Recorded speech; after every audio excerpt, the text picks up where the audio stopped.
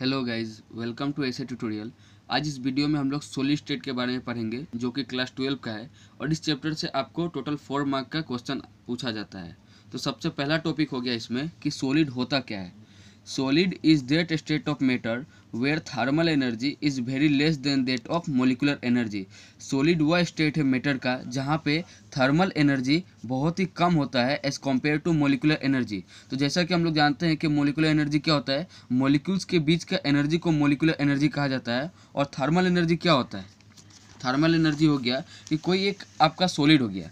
ये cubic solid ही मान लेते हैं हम लोग कि इस टाइप का सॉलिड में इसका अंदर में जो एटॉम्स प्रेजेंट रहते हैं, उस एटॉम्स का जो कॉन्स्टिट्यूएंट पार्टिकल है, वो कॉन्स्टिट्यूएंट पार्टिकल क्या होता है? फ्रीली मूव करते हैं। कभी इधर जाते हैं, कभी इधर जाते हैं।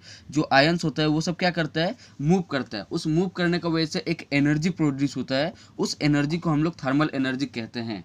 तो वो क्या होगा? सॉलिड के अंदर में थर्मल एनर्जी क्या होगा? वो कम होगा as compare to molecular energy जो मोलिक्यूल्स का बीच में एनर्जी है। तो ये था हम लोग का सॉलिड का डेफिनेशन पहले हम लोग लिखते थे सॉलिड का डेफिनेशन क्या है कि सॉलिड का अपना एक डेफिनेट शेप होता है। सॉलिड वो एक वॉल्यूम ऑक्यूपाई कर सकता है। सॉलिड का मास होता है। तो वो सब वो सब हम लोग लोअर क्लास में लिखते थे। और ये हो गया अभी हम लोग जो ट्वेल्थ क्लास में है तो थोड़ा स्टैंडर्ड लिखना ही होगा। तो ये हम लोग लिखे सॉलिड का डेफिनेशन फिर आ गया classification of solid classification of solid solid का हम लोग कैसे क्लासिफाइड किए हैं? तो on the basis of arrangement सजावट के आधार पे इसका जो कॉन्स्टिट्यूएंट पार्टिकल है या सॉलिड हो गया, उसको हम लोग क्या करेंगे? क्लासिफाइड करेंगे दो क्लास में। क्या क्या एक हो गया क्रिस्टलाइन सॉलिड एक हो गया एमरफस सॉलिड एमरफस का मतलब होता है एकदम आपका मैदा का तरह पिसा हुआ, जो कि आपका एकदम छोटा छोटा देखने को नहीं मिलेगा वो पूरा पाउडर का माफिक मिलेगा। लेकिन ये क्या होगा? क्रिस्टलाइन सॉलिड ये होगा शुगर का माफिक, एकदम दाना दाना बोल के ऐसा। क्रिस्टलाइन का मतलब ही होता है दाना दाना जैसा। और एमरफस मतलब होता है पूरा पाउडर का तरह। तो इसका पॉइंट हो गया कि इस दोनों का बीच में डिफरेंस क्या है? तो ये हो गया these solid have regular arrangement crystalline solid क्या होता है? एक रेगुलर अरेंजमेंट होगा उसमें of constituent particle contain atoms molecules और आयन आपका जो सॉलिड है, उस सॉलिड में क्या क्या हो सकता है? एटॉम मॉलिक्यूल और आयन ये सब क्या होगा? एक रेगुलर अरेंजमेंट में होगा। जैसे कि इस सॉलिड में हुआ था, यहाँ पे, कि ये सॉलिड का क्या है? एक अपना अरेंजमेंट है। तो वो अरेंजमेंट को ही हम लोग क्या कहते हैं क्रिस्टलाइन सॉलिड कि ये एक प्रकार का क्रिस्टलाइन सॉलिड हो गया कि, कि इसमें अरेंजमेंट है ठीक है?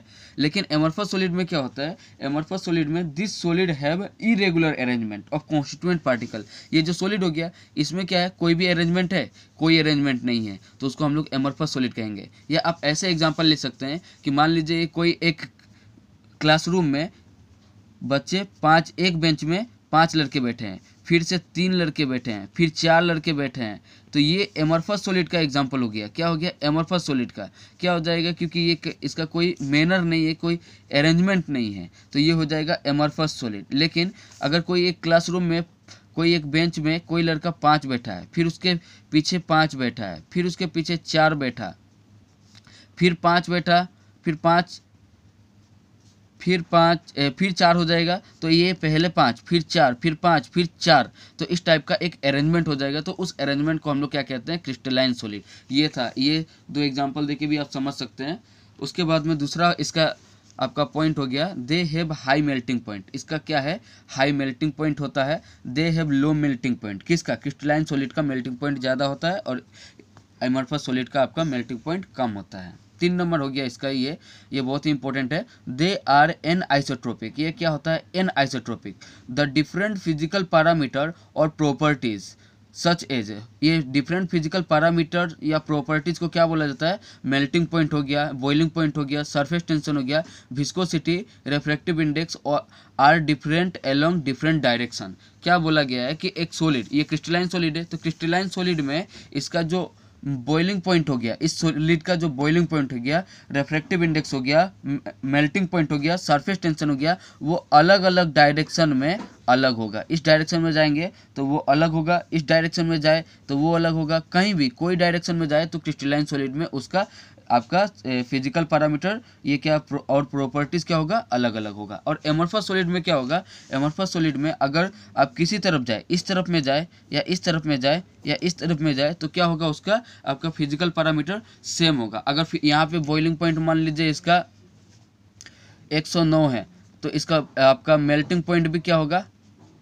इस तरफ़ में आएँगे तो एक तरफ़ में आपका 109 है तो इस तरफ़ में भी आपका कितना होगा उसका? बॉइलिंग पॉइंट वो भी 109 होगा। मतलब कोई भी डायरेक्शन में जाइए, उस डायरेक्शन में आपको सेम देखने को मिलेगा। तो इसका हो गया they are isotropic that is the different physical parameter अलग अलग पैरामीटर जो था melting point boiling point surface tension viscosity will be same in along different direction अलग अलग डायरेक्शन में जाएँगे, तब भी हम लोग का वो क्या होगा, उसका वैल्यू आपको सेम देखने को मिलेगा। लेकिन इसमें क्या होता है, वो अलग देखने को मिलेगा। ये तीन नंबर पॉइंट था। अब चार नंबर पॉइंट इसमें क्या है? दे आर ट्रू सोलिड ये एक प्रकार का ट्रू सोलिड है, सचमुच का सोलिड है, और दे आर सीडो सोलिड इसका एग्जांपल हो गया एनएसीएल सुगर एटसेट्रा और दे आर सीडो सोलिड बोला है, ये नकली टाइप का सोलिड होता है, जैसा कि इसका हो गया सुपर कूल्ड लिक्विड इसका एग्जांपल हो जाए ग्लास रबर ये ग्लास को बनाने से पहले ये एक लिक्विड अवस्था में होता है तो वो जो फ्रीज होता है, जैसे कोई एक सोल्यूशन मान लीजिए कि उसको फ्रीज करने का क्षमता है, आप उसको ज़ीरो डिग्री का अंदर में उसको फ्रीज कर सकते हैं, लेकिन उसको क्या करेंगे आप ज़ीरो डिग्री से भी नीचे में उसको फ्रीज करना करेंगे ना तो वो क्या हो जाएगा वो एक आपका सॉलिड का रूप ले लेगा। तो उसका एग्ज़ाम्पल हो गया ग्लास रबर कोई एक ग्लास रबर ये सब भी बोल सकते हैं, ये एग्ज़ाम्पल हो गया। अब क्या हो गया?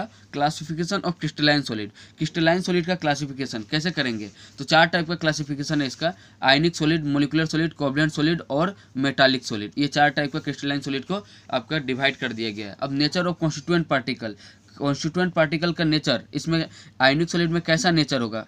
कॉन्स्टिट्यूएंट पार्टिकल का जो छोटा छोटा प्रेजेंट रहेगा तो उसमें होगा positive ion that is cation बोल सकते हैं, और नेगेटिव आयन ये आयनिक सॉलिड में प्रेजेंट रहेगा। और उसके बीच में कैसा ये रहेगा आपका force strong electrostatic force of attraction रहेगा।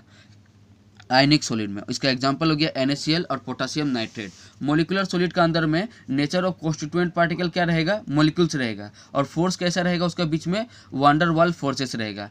कोवलेंट सॉलिड का बीच में आपका कोवलेंट सॉलिड का बीच में आपका कॉन्स्टिट्यूएंट पार्टिकल एटॉम्स हो गया। और लोग का बीच में फोर्स कैसा होगा? कोवलेंट बॉन्ड होगा। और उसका एग्ज़ाम्पल डायमंड सिलिका ये दे सकते हैं। चार नंबर हो गया मेटालिक सॉलिड मेटालिक सॉलिड के अंदर में आपका पॉजिटिवली चार्ज मेटल आयन होगा, जो कि बहुत ही स्पीड मूव करता है आपका, और ये उसका अंदर में क्या होगा? फोर्स एक होगा, उस फोर्स का नाम हो गया मेटालिक बॉन्ड मेटालिक सॉलिड में मेटालिक फोर्स होगा, और उसका एग्ज़ाम्पल हो गया ऑल मेटल्स एंड एलोए ये उसका एग्ज़ाम्पल हो गया। अब हो गया आपका different types of crystal system अलग टाइप का क्रिस्टल सिस्टम कैसा होता है?